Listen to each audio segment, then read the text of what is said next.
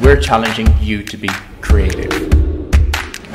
You always learn. You just can never know enough. achieved results which speak for themselves. The, the energy, the buzz, the passion. Being willing to learn. And Anyway. get this mingling of Identity ages and stuff within a a community school, and it's a family. people I've met have been different experiences, cross fertilization. You really get to discover yourself in the process. Be yourself at the audition. People are constantly impressed. And you don't have to be anything else. Training sharpens ability.